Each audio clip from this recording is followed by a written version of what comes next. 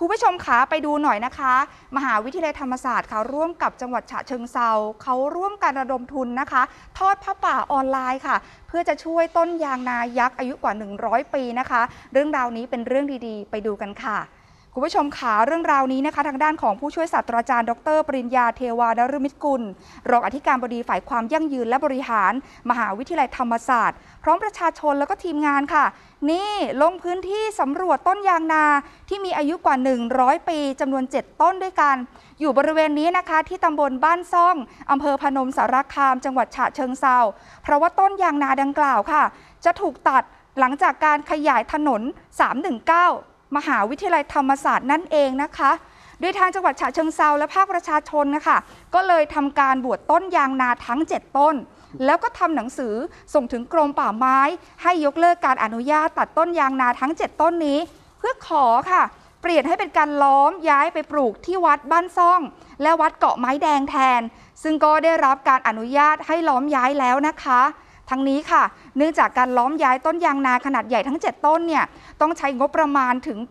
840,000 บาท ทางมหาวิทยาลัยธรรมศาสตร์ และหน่วยงานต่างๆ ที่เกี่ยวข้อง ก็ได้ปรึกษาพระครูโสพลวิริยา นุยุทธเจ้าคณะตำบลและเจ้าอาวาสวัดบ้านซ่องค่ะ เห็นพ้องตรงกันว่าจะจัดพิธีทอดผ้าป่าช่วยชีวิตต้นยางนา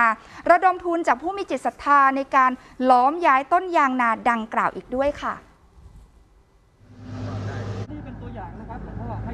เราทุกคนเห็นว่าไม่จำเป็นต้องตัดโค่นนะครับ เพราะชีวิตต้นยางนายักษ์ร้อยกว่าปีเนี่ยก็สำคัญนะครับ ความเจริญเราต้องการการพัฒนาเราต้องอยากจะให้มี แต่ธรรมชาติและสิ่งแวดล้อมสามารถอยู่ร่วมกันได้กับความเจริญนะครับ เราจึงเปลี่ยนจากการตัดโค่นนะครับ ด้วยความร่วมมือร่วมแรงใจกันของทุกภาคส่วน เห็นพ้องต้องกันว่าเราไม่ยอมให้ตัดโค่นนะครับ แต่ขอล้อมย้ายไปปลูกที่วัดแทน เพื่อ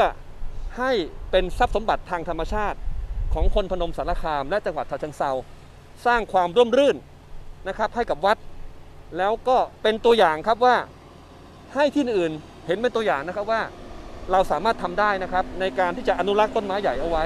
นี่ส่วนของอาจารย์นะคะ ทีนี้ทางจังหวัดฉะเชิงเซาว่าอย่างไร ทางด้านของนายสรายุทธ์แก้วกุลปรีชารองผู้ว่าราชการจังหวัดฉะเชิงเซาบอกอย่างนี้ค่ะ ว่าต้นยางนาเนี่ย อายุทั้ง 7 ต้นเนี่ยนะคะนับนับรวมกันแล้วเนี่ยเป็นร้อยร้อยปีนะคะ ถือเป็นสิ่งสำคัญอย่างหนึ่งของจังหวัดฉะเชิงเซา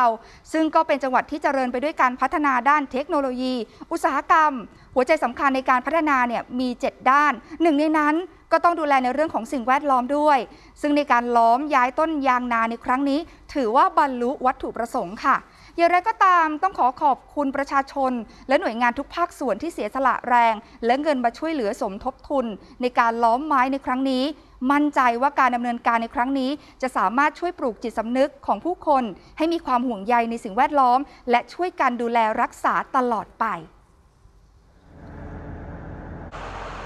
สื่อสำคัญที่สุดตรงนี้คือต้นยางยางนา ซึ่งอายุเป็นร้อยปีนะครับ ต้องขอบคุณพี่น้องทั้งหลายนะครับที่ได้ช่วยเสียสละ นะครับ แรงกายเสียสละเงินนะครับ จนเป็นค่าล้อมย้ายซึ่งใช้สูงมาก อย่างไรก็ดีนะครับ การดำเนินการตัวนี้นะครับ ก็จะเป็นสัญลักษณ์ต่อสู้เพื่อสิ่งแวดล้อมนะครับ เพื่อธรรมชาติโดยแท้จริง มั่นใจว่านะครับมั่นใจว่าและก็หวังว่าการดำเนินการครั้งนี้ของท่านอาจารย์ปัญญาและองค์กรนะครับ ก็จะช่วยปลุก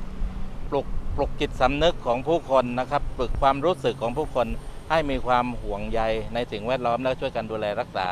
มั่นคงยั่งยืนตลอดไปครับ เนี่ยค่ะ การทอดผ้าป่าครั้งนี้นะคะ จะทอดแบบออนไลน์ ก็เรียกว่าเป็นที่แรกๆในโลกเลยไหมอะนะคะ ทอดผ้าป่าออนไลน์แบบนี้ ซึ่งท่านที่ประสงค์จะร่วมทำบุญ สามารถโอนเงินเข้าบัญชี 0910424449 โดยทางวัดบ้านซ่องค่ะ จะออกใบอนุมออนุโมทนาบัตรให้กับทุกท่านที่โอนมาช่วยเหลือด้วย นี่เลขบัญชีขึ้นแล้วนะคะ ใครที่โอนมาช่วยเหลือนะคะ ขออนุโมทนาบุญด้วยค่ะอืมเป็นเรื่องดีๆ ในครัคบรั้งนี้เช้าวันนี้กันนะคะของดีก็ต้องอนุรักษ์ไว้นะ บางพื้นที่ก็มีเหมือนกันร้อยกว่าปี แต่เขาเลือกที่จะตัดมันไป ทุกวันนี้ก็ได้แต่เสียดายค่ะนะเอาไว้ให้คนรุ่นหลังได้เห็นนะครับ